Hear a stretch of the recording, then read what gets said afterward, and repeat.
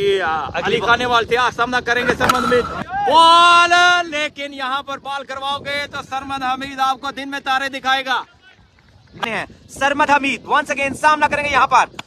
सीधे बैट के साथ खेला है फील्डर मौजूद और यहाँ पर। ओ माय गॉड और अपनी गर्दन पे ऐसे करके